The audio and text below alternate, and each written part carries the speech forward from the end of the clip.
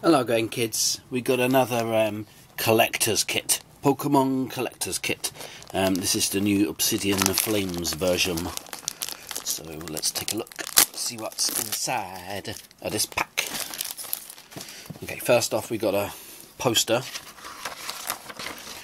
Uh, we got the playmat on one side, and the other side of it looks like that and the poster is um, I don't know if you can see that. It's Charizard and uh, the other one uh, Tyranitar.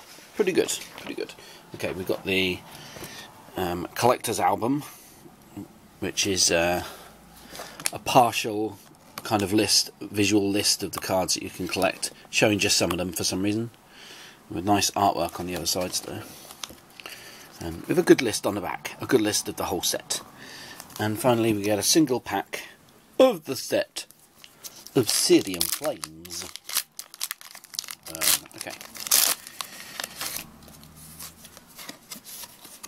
As a code, for you code-faced relics out there, we've got Carvanha,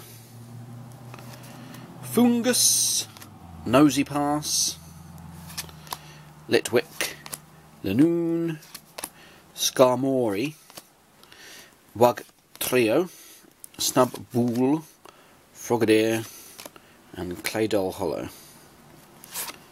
Oh my god! It's an energy!